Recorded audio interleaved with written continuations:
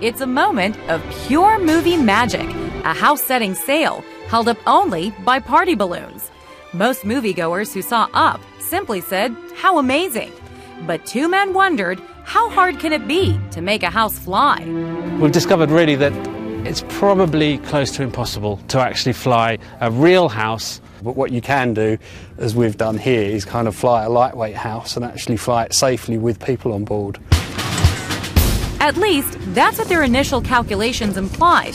So they trekked to California's high desert, where dozens of volunteers joined them, working through the night in near freezing temperatures to build this little yellow house and fill 300 balloons, each 8 feet tall and each consuming an entire tank of helium. The two pilots issued instructions every step of the way. Keep that going and I'll be back.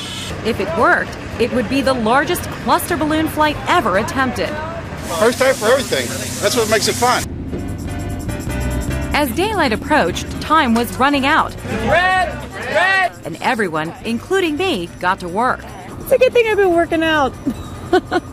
but the scheduled takeoff time came and went. And they're actually putting more helium in more balloons to make sure that this thing can actually get off the ground. But let me tell you, just trying to hold one of these down is a workout in and of itself. Whew. And the longer the house stayed on the ground, the higher the tension rose. Would all this work be for nothing? How are you feeling right about now? I'm feeling pretty tired and I'm feeling very stressed. But hope stayed afloat just long enough. It is appropriate. Until finally, like in the movie, house began to rise and rise and rise.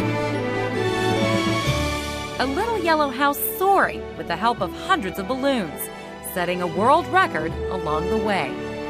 For Good Morning America, Diana Alvear, ABC News.